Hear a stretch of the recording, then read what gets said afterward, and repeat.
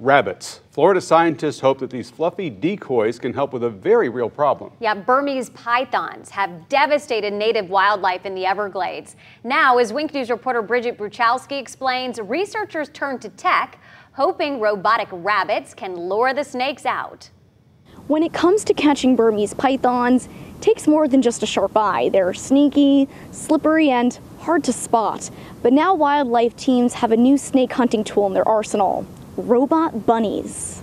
The South Florida Water Management District and the University of Florida have teamed up to create what looks like a toy rabbit. These solar powered robo bunnies move, emit heat, and soon they'll even smell like a real rabbit. All to fool Burmese pythons into thinking dinner's been served. If the snakes come to them, it could save teams hours of searching in swampy alligator infested terrain. If that python is detected, then it contacts someone like myself who's available 24 hours a day, and then I can deploy one of our many contractors to go remove it. Pythons have been a disaster for native wildlife. Lead invasive animal biologist for South Florida Water Management District Mike Kirkland says they've wiped out up to 95% of mammals in parts of the Everglades. If we can see statistically significant number of pythons that are coming to investigate these robotic rabbits in the pens, that would be a success because right now pythons do a great job of staying hidden. Robo rabbits are still in their trial phases right now. Researchers told me that it will take years to find out